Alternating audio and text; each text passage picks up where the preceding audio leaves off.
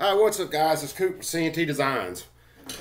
I am here because we're going to go through some breaking news today in the gun gun world. I'm going to be breaking news with my friend Richard, my co-anchor, my co-host, the man.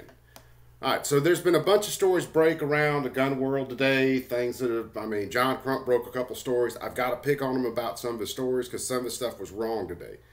All right. So the first news story is is a story about Big Daddy Big Daddy Unlimited. I'm tripping over my words again. All right, so Big Daddy Unlimited is going to go under a name change. They're going now to Big Mommy Unlimited. They will be starting an OnlyFans page. Wait for announcements.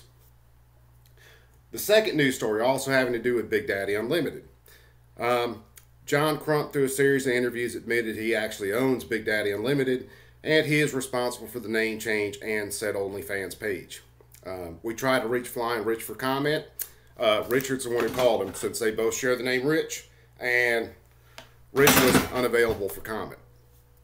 The other story we're, we're breaking right here. This is worldwide news. We figured out the reason that Russia actually invaded Ukraine.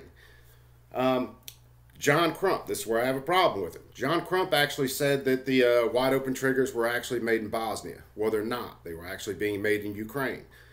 Knowing this, the ATF subcontracted out with Putin to go in and go ahead and get all those wide open triggers before any of us crazy Americans can get a hold of those triggers. There will be updates on that story coming shortly. The last story is, is we tried to comment or contact the ATF for any kind of comments on contracting with Putin and all that, and all we got was an unnamed source that said that, well, to be an ATF agent, you have to have an unhealthy sexual attraction to dogs. And this is what accounts for a lot of dogs being killed during raids. Um, he apologized to all the dogs that had been killed in the heat of passion, and they are trying to do better at this point and maybe get some people interested in cats. Um, that's all the news I have today, guys. I'll be back with some more stories on um, some of the actual bills that I'm covering these days. And you guys take it easy. Later.